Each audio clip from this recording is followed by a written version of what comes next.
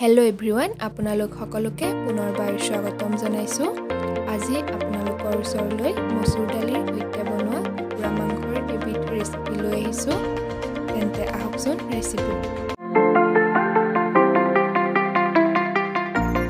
মই কুকুৰা মাংস লৈছোঁ লগত এয়া আলু তিনিটা এনেদৰে কাটি লৈছোঁ আৰু এয়া পিঁয়াজ তিনিটা এনেদৰে ৰাউণ্ডকৈ কাটি লৈছোঁ। এইখিনি মচুৰ দালি মচুৰ দালিখিনি মই অলপ সময় তিয়াই থৈছিলোঁ। লগত এয়া জিৰা আদা নহৰু আৰু শুকান জলকীয়া লগত পিঁয়াজো আছে এনেদৰে পেষ্ট বনাই লৈছোঁ। আৰু যিহেতু বহুত গৰম পৰিছে সেইকাৰণে মই বেছি মছলা ব্যৱহাৰ কৰা নাই। মই এয়া দুপেকেট পেট মিট মছলা আৰু ৰেড চিলি পাউডাৰহে ব্যৱহাৰ কৰিছোঁ। একেবাৰে তেনেই সাধাৰণভাৱে বনাওঁ আৰু আজি মই এয়া মাংসখিনি মেৰিনেট কৰি লোৱা নাই। মেৰিনেট নকৰাকৈ বনাম। কেৰাহীত পৰিমাণ অনুযায়ী মিঠাতেল দি পিঁয়াজখিনি মই এয়া দি দিছোঁ। পিঁয়াজখিনি অলপ সময় মই এয়া ভাজি লওঁ। আৰু গেছটো মিডিয়ামত ৰাখিছোঁ।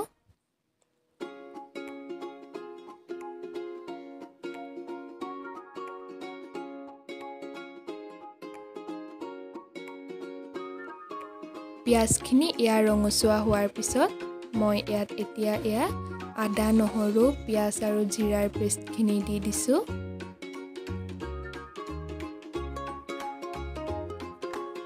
লগত এয়া মই পৰিমাণ অনুযায়ী হালধি গুড়া দিছোঁ আৰু এয়া পৰিমাণ অনুযায়ী নিমখ দিছোঁ। এয়া ৰেড চিলি পাউডাৰ দিছোঁ আৰু এয়া মিট মছলা দিছোঁ। দি এইখিনি মই এতিয়া অলপ সময় ভালদৰে ভাজি লওঁ এয়া চাওক মছলাখিনি মই এয়া ভাজি আছোঁ।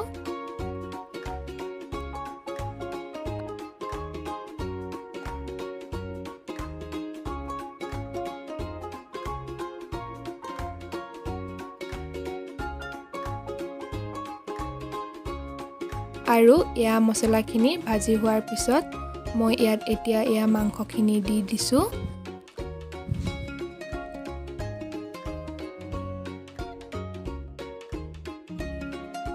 মাংসখিনি মই এয়া অলপ সময় লৰাই এইখিনি অলপ সময়ৰ বাবে প্ৰায় দহ মিনিটমানৰ বাবে ঢাকি থৈ দিম।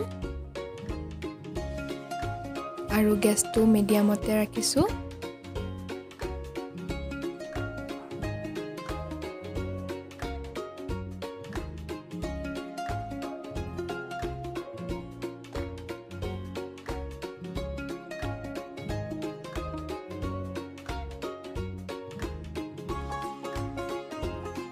প্ৰায় দহ মিনিটমানৰ পিছত মই এয়া ঢাকন খুলি দিছোঁ আৰু ইয়াত মই এতিয়া এয়া মচুৰ দালিখিনি দি দিছোঁ।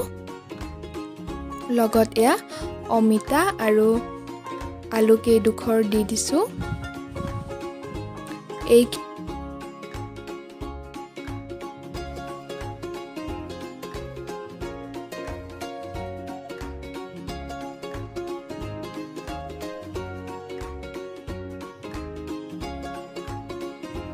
খিনি ভালদৰে লৰাই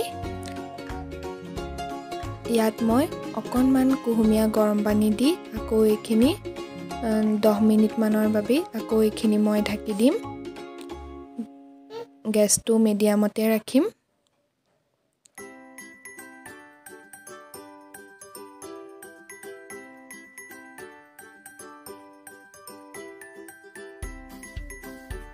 এয়া চাওক।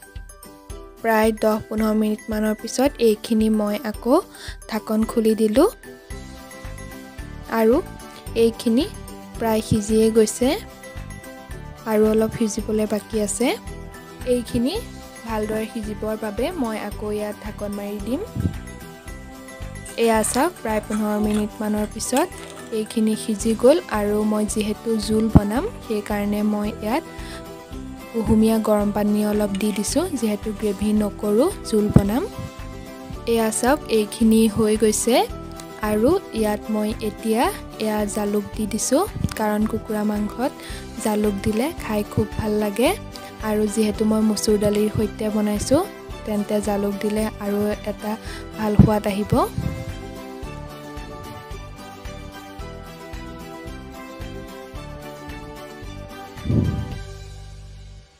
এয়া চাওক এইখিনি হৈ গ'ল। আৰু এইখিনি মই এতিয়া খোৱা সময়লৈকে ঢাকন মাৰি থৈ দিম। এয়া আমাৰ মচুৰ দালিৰ সৈতে বনোৱা কুকুৰা মাংসৰ জোল। ৰেডি হৈ গ'ল। আৰু এয়া মই কাষত এনেদৰে পিঁয়াজ দি দিছোঁ। চাওকচোন দেখিবলৈ কিমান ধুনীয়া হৈছে কিমান ধুনীয়া কালাৰ এটা আহি গৈছে। আৰু খাবলৈতো ক'বই নালাগে বহুত ধুনীয়া হৈছিল খাবলৈ বহুত ধুনীয়া সোৱাদ এটা আহিছিল খাবলৈ। আৰু মচুৰ দালি দিলে মাংসখিনি পূৰা গ্ৰেভি হৈ যায়। খাই সেইকাৰণে খুব ভাল লাগে। আপোনালোকে যদি আজিলৈকে মচুৰ দালি দি বনোৱা নাই কুকুৰা মাংস তেন্তে এবাৰ নিশ্চয় ঘৰত বনাই চাব।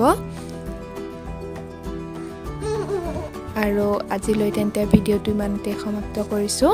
যদি ভিডিঅ'টো ভাল পালে তেন্তে লাইক শ্বেয়াৰ আৰু ছাবস্ক্ৰাইব কৰিবলৈ নাপাহৰিব। যদি এতিয়ালৈকে ছাবস্ক্ৰাইব কৰা নাই প্লিজ চেনেলটো ছাবস্ক্ৰাইব কৰি দিব।